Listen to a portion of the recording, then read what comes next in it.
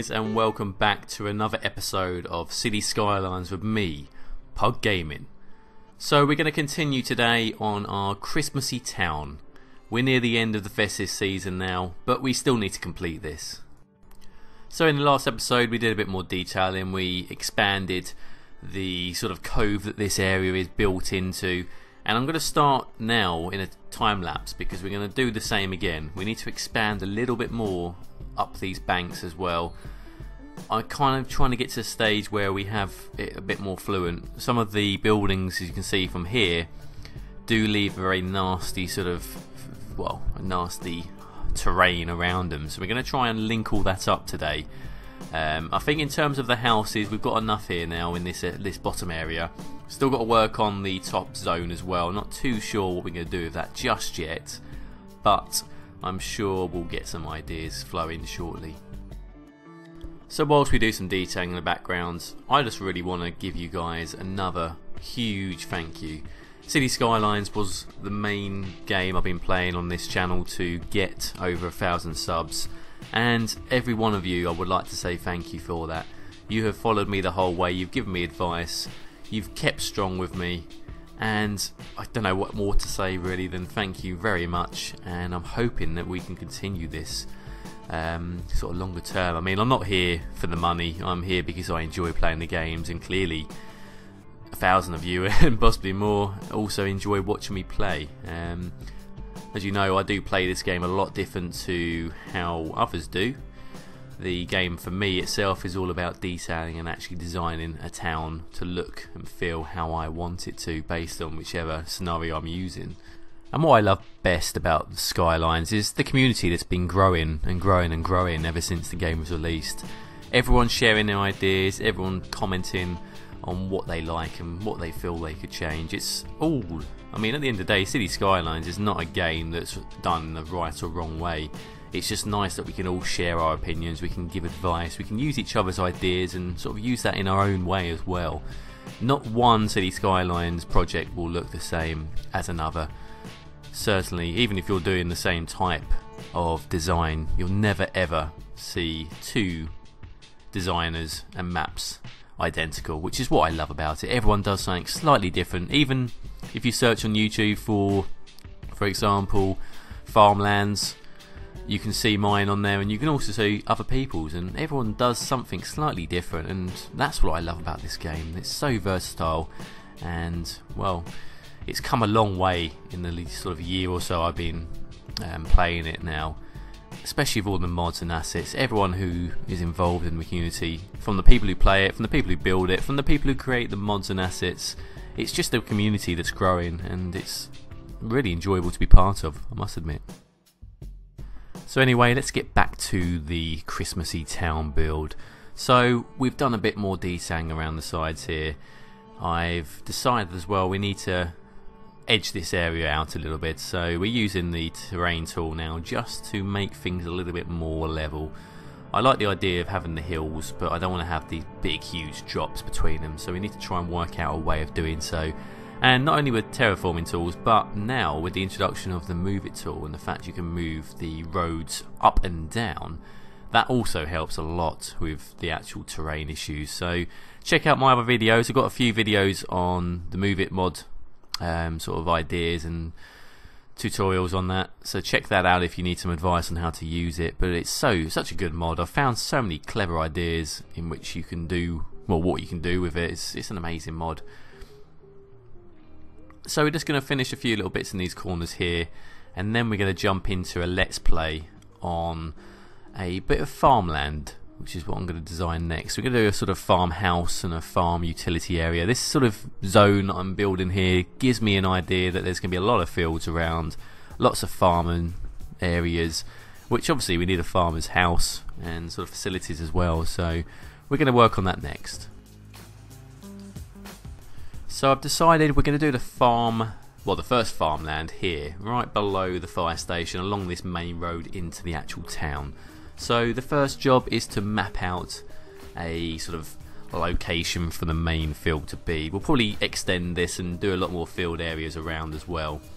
But we just want to close this area off a bit now. It's uh, looking a little bit too open with all the uh, unfilled space. So what better to put into these spaces than having some farmland? It's pretty much what you're guaranteed to see anyway. So we're going to use this to our advantage and uh, add some um, farmlands around. And we're going to start right here. So let's put these fences across like so. And what we could do, we'll shift this across, I think, because I want to have a sort of fence gate some description, just a smaller one, just to make it look. I think there's one somewhere. That would be nice, but it's a little bit too big. It will overlap a little bit there. Um, there was a nice little one. It's sort of a two-bar fence.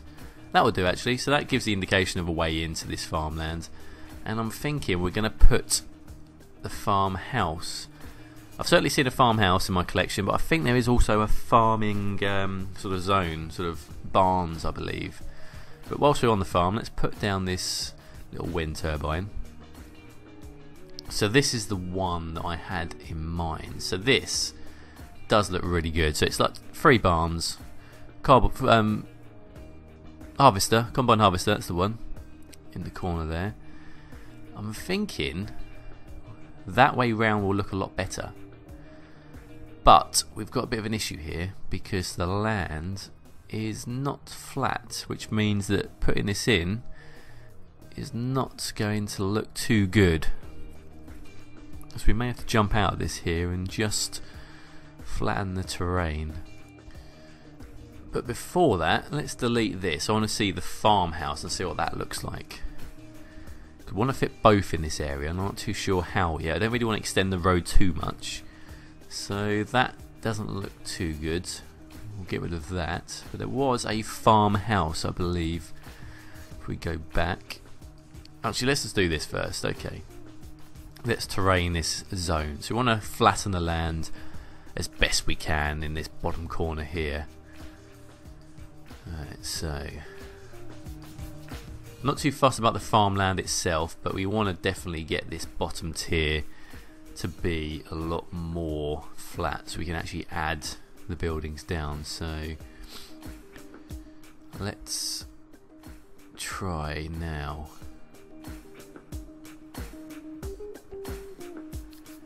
Okay so move this across a little bit. How's that looking not as bad Spin that round. So I'm thinking, I think we won't look a bit silly over there. So we need definitely need to have it close to this road area here. Let's try and raise it up a little bit. So I'm thinking we still need to get a little bit of terrain modified here. Not sure though, let's have a quick look around. See, it's not too bad. I think what we'll do is we'll do a bit of terrain modification whilst the building's down. That's better, there we go. So that's the level we want. And now what we want to do is just fade the rest around it. That's much better, there we go, perfect. Okay.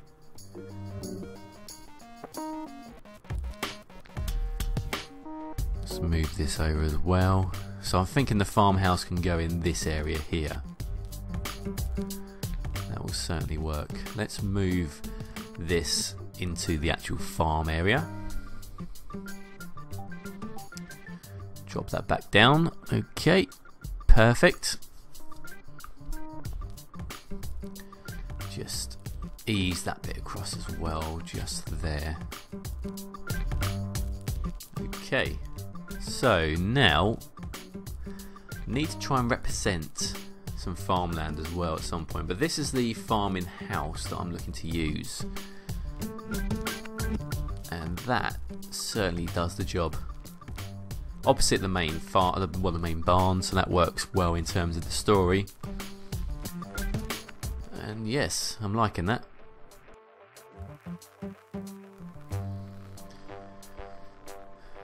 So, what can we put on next?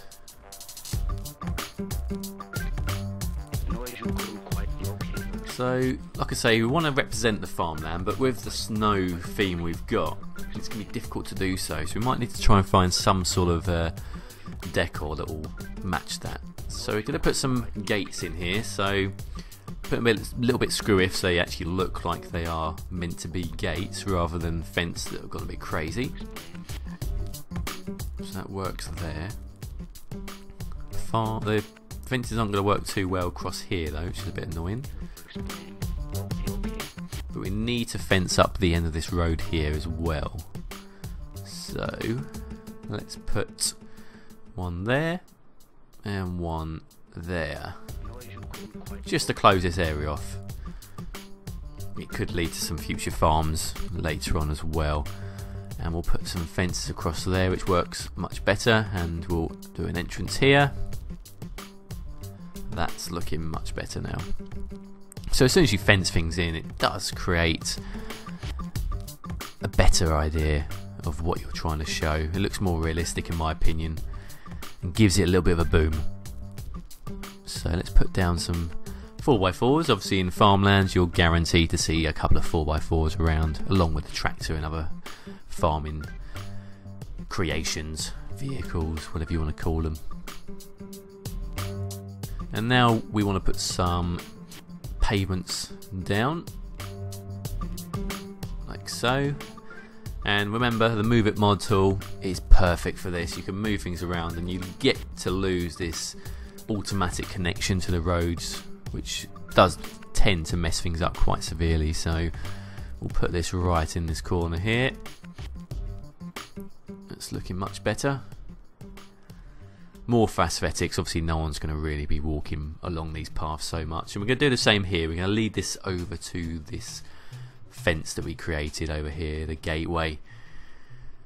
Um, let's just move that over a tad. There we go. That's perfect much better. Okay, so that's the pathway sorted. I say pathways, it's pretty much a um, private track really for the farmland. Uh, bit of detang as well around here. What I like as well about these decors is if you're using the snowy terrain theme, everything looks different, which is absolutely amazing. Like this here, this is more, this is the concrete I believe, astroturf stuff and putting it down looks more like snow which uh, obviously in my build works perfectly. So put a few little bits here and there. And that in the corner.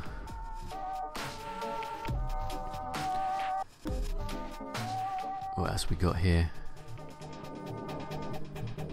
A little bit there.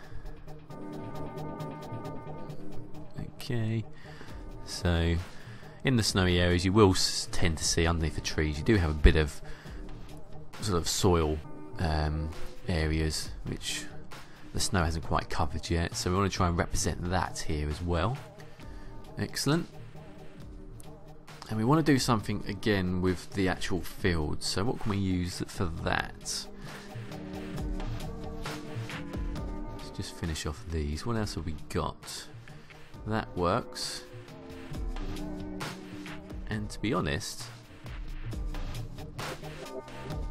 go in this corner here as well. Okay. It's looking good.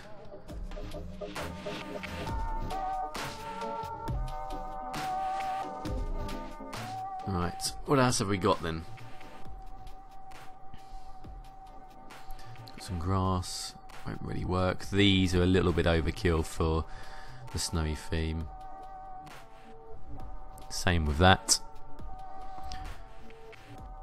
Now one thing I haven't checked is when you put these down, does the snow cover any of these areas? Let's have a look. Let's put down one of the... Not so much grass, let's put... Uh, da -da -da.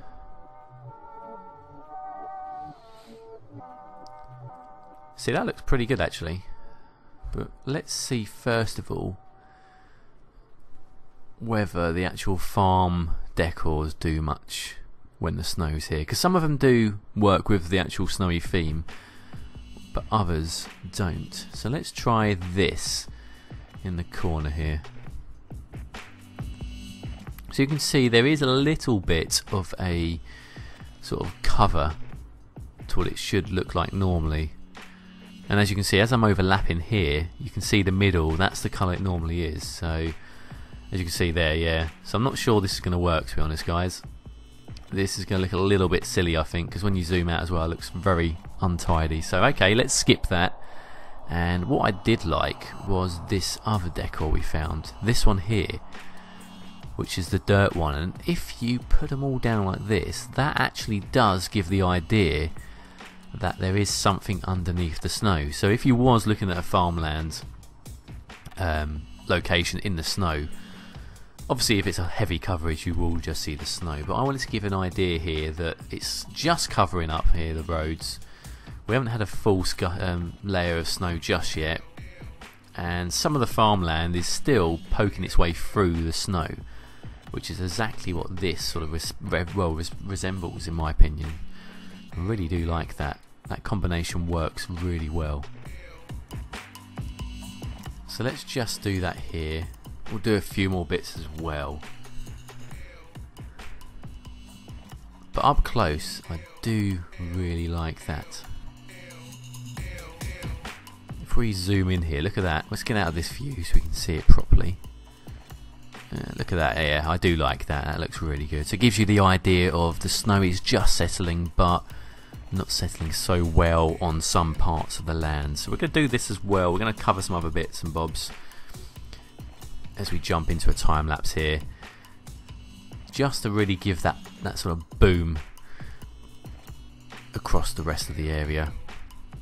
Because I don't want to give the idea, I want the idea of the living area where people are living to be a bit more used and using this decor really does give that sort of feeling. Obviously the areas all around where people aren't moving or going and actually stepping on will be a lot more snow covered but I want this other area to sort of um, boom out. Um, just like that to be honest. Gonna add a few winter trees because the only downside to this farm is it's only offers the green foliage, which obviously doesn't match the rest of this area. But I'll probably what I will do is add a bit of both. So I have been going a bit overkill on the snowy trees, but we're going to add some green foliage in in the next episode, I think, just to get that pop. And I did have an idea about putting a football uh, field over here, but unfortunately, with the snowy theme, that didn't quite work out to plan. So that's pretty much it for this episode. In the next episode, I think we're going to work a bit more on some of the decor and we're going to add a bit more farms well add some farms around and also we're going to start working on the top tier. So as always guys thank you very much for watching. I look forward to seeing your comments. If you like the video please give me a thumbs up and even subscribe if you want to see more so on that note guys, thank you very much for watching and I'll see you soon. All the best.